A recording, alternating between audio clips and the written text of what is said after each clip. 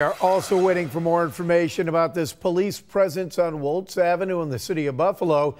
This was the scene around 9 o'clock last night, and you can see police had the area blocked off. We will bring you the latest details once we get them on air and online at WGRZ.com.